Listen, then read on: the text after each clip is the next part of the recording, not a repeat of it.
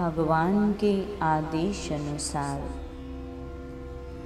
देवराज इंद्र ने समुद्र मंथन से अमृत निकलने की बात दैत्यराज बलि को बताई।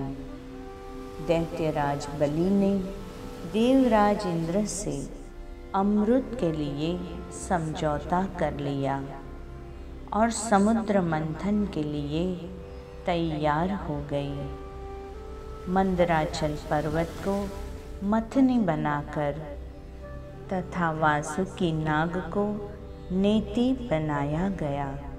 स्वयं भगवान श्री विष्णु कच्छप अवतार लेकर मंदराचल पर्वत को अपने पीठ पर रखकर उसका आधार बन गए। वासुकी नाग को समुद्र मंथन के दौरान कष्ट ना मिले। इसीलिए उसे गहरी निंद्रा का वरदान दे दिया। समुद्र मंथन आरंभ हुआ और भगवान कच्छप के एक लाख योजन चौड़ी पीठ पर मंदराचल पर्वत घूमने लगा। अमृत की अभिलाषा में देव और दैत्यों ने मिलकर समुद्र मंथन का कार्य शुरू तो कर दिया। किंतु अमृत के स्थान पर समुद्र मंथन से सबसे पहले कालकूट हलाहल विष निकला, जिसकी ज्वाला बहुत ही तीव्र है। इस हलाहल विष की ज्वाला से सभी देवता तथा दैत्य जलने लगे। और उनकी कांते फीकी पड़ने लगी।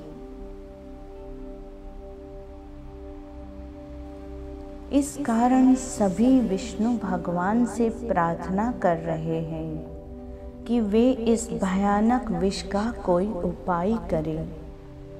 समुद्र मंथन से निकला हुआ कालकूट विष इतना भयानक है कि यदि उसकी एक बूंद भी धरती पर गिर जाती है तो संपूर्ण धरती का विनाश हो जाएगा।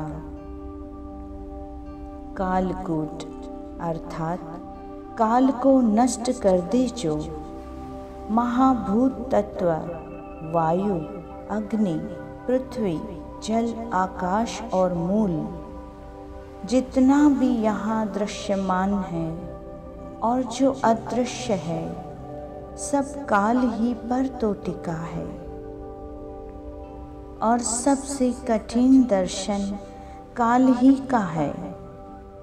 काल को मूल स्थिति से तक्षण नष्ट कर देने वाला महाभयंकर विष, जो वायु में विस्तृत होने पर जल, थल और नभ के सभी प्राणियों को मार देता। ऐसे विष को काल के परे तक धारण कर सके ऐसा कौन हो सकता है? भगवान विष्णु इस समय कुर्मा अवतार के रूप में है। उन्होंने मंदार गिरी पर्वत को अपनी पीठ पर धारण किया है।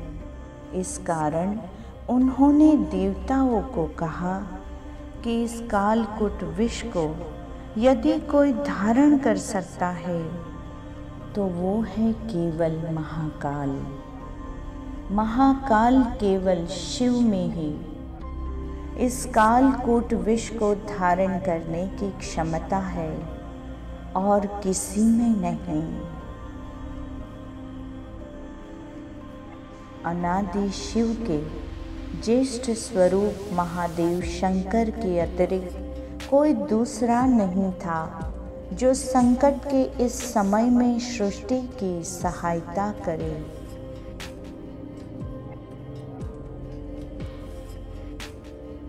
अपने दोनों हाथों को जोड़े, नतमस्तक होकर सभी देव और दैत्य शिव की प्रार्थना करने लगे।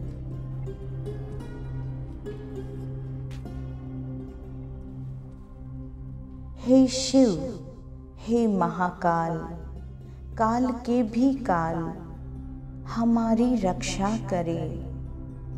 हम आपके शरण में हैं, हमारी और सृष्टि की रक्षा करें। आप ही हमारे तारणहार हो। आपकी शक्ति और सामर्थ्य की कोई तुलना नहीं है। हम सब आपकी शरण में हैं।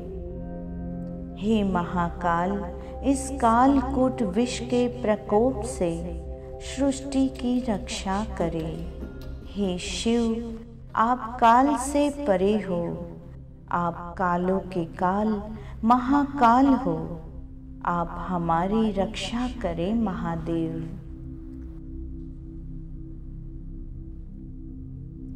शिव का अर्थ कल्याण होता है। देवताओं की और दैत्यों की प्रार्थना सुनकर सृष्टि के कल्याण के लिए, इस कालकुट विष को पीने के लिए शिव तैयार हो गए हैं।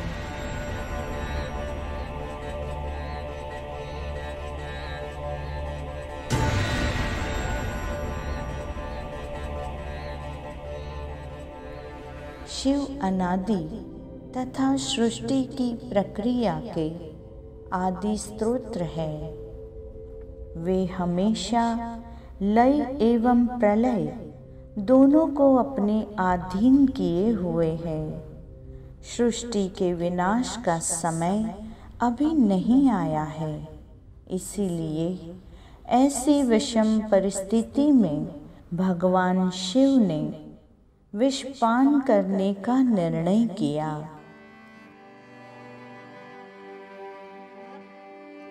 जैसे ही शिव पधारे समुद्र मंथन के स्थान पर समग्र सृष्टि, देव और दैत्य नतमस्तक हो गए। महाकाल आज सृष्टि को एक नया जीवन देने आए हैं।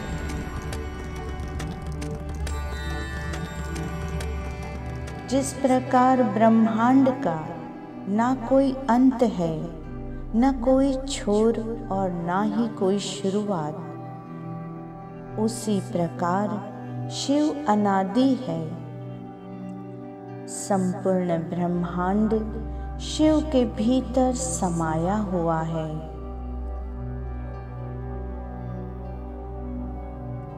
जब कुछ नहीं था, तब भी शिव थे। जब कुछ न होगा तब भी शिव ही होंगे। इसीलिए शिव को महाकाल कहा जाता है। महाकाल अर्थात समय। महाकाल संपूर्ण सृष्टि का पोषण करते हैं। इसी स्वरूप द्वारा महाकाल ने अपने ओज एवं उष्णता की शक्ति से सभी ग्रहों को एकत्रित कर रखा है। महाकाल का यह स्वरूप अत्यंत ही कल्याणकारी है।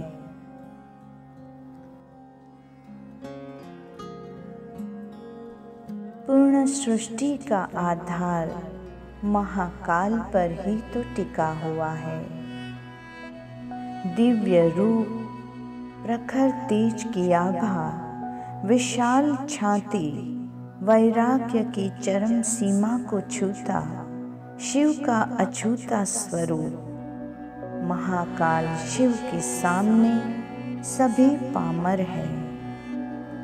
शिव ने अपने एक हाथ से जैसे हथेली में अंजलि भरते हैं, वैसे सहज कालकूट विष को पान करना शुरू किया।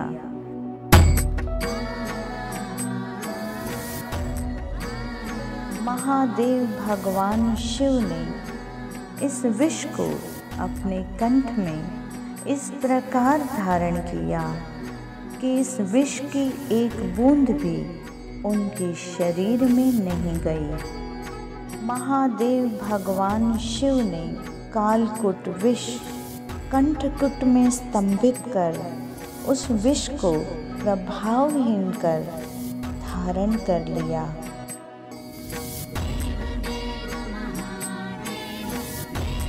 दशो दशाओं से नीलकंठ महादेव की जय होगी ध्वनि गूंजने लगी है।